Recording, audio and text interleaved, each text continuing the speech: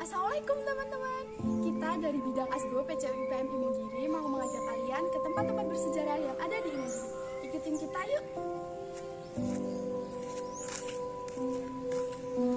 Nah, kali ini kita akan mengajak kalian keliling ke makam Raja-Raja Imogiri sekaligus flashback apa aja sih yang terjadi pada masa lalu sampai bisa terbangun bangunan ini. Siapa sih yang nggak tahu tempat ini? Tempat yang sering dijadikan destinasi wisata sekaligus tempat untuk sekedar berolahraga. Sebelum kita masuk ke daerah pemakamannya, kita akan menjumpai masjid dan tangga yang sangat banyak. Oleh karena itu, banyak yang menjadikan tempat ini untuk berolahraga loh. Nah, sekarang ayo kita bahas sejarah singkatnya.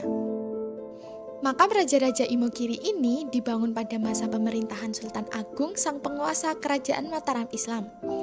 Pembangunan makamnya sendiri dimulai dari tahun 1607 sampai tahun 1645.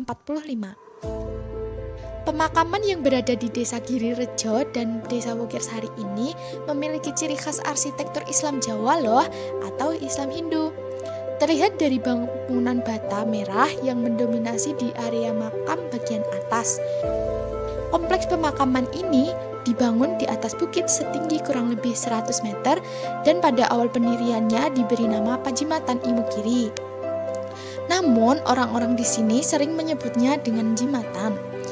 Walaupun terpecah menjadi dua bagian pada tahun 1755, tetapi makam ini tetap menjadi tempat peristirahatan terakhir bagi raja-raja dari dua kesultanan, yaitu Kesultanan Surakarta dan Kesultanan Yogyakarta.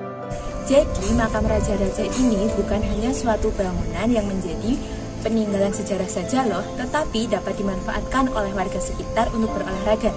Salah satunya berjogging di setiap jalur tangga. Nah, ini dia penjelasan singkat dari kami tentang makam Raja-Raja Imogiri. Semoga membantu ya. Terima kasih sudah menonton video sampai akhir dan, dan sampai jumpa di video selanjutnya.